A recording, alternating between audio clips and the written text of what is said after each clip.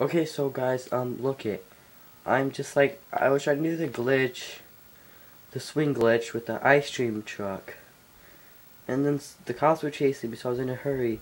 I tried doing it, then it like pushed my vehicle under the ground with the swing. And now, as you can see, I'm just floating. Like, he turns the wheel, I can't go forward or backwards. I'm gonna press Y to get out of the car right now. You can get out of an invisible car and close the stupid door. And it just, fuck. Okay, well that's it. You guys can try it out. The swing disappeared. Just have an ice cream truck and try to do the glitch. Yeah.